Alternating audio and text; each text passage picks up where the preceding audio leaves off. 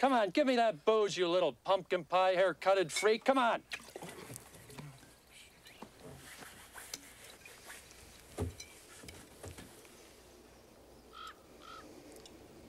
Sir, no, wait, wait, wait, wait. No, sir, don't. Don't drink. You'd keep your mouth shut if you knew it was good for you, buddy.